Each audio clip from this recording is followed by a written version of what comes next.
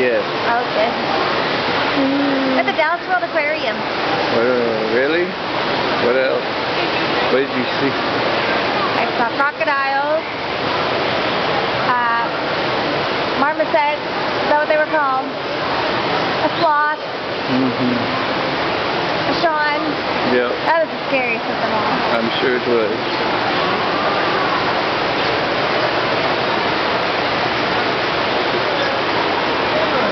What do you see? That's good. That's only one eye. What are you looking it's a at? tamarin. Where is it? Does he have one eye? I don't see any of these things.